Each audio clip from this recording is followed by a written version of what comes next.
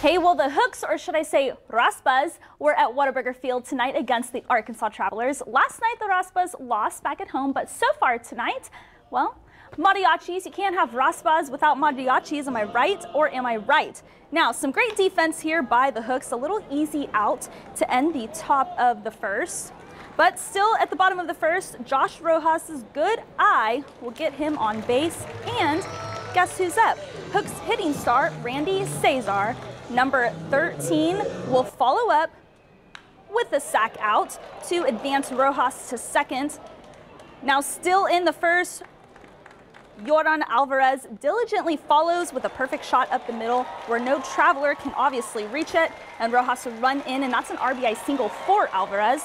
And you know, the crowd sure does love that, but this is the final score of the game. Tonight, the final, Travelers lose to the Raspas 3-0.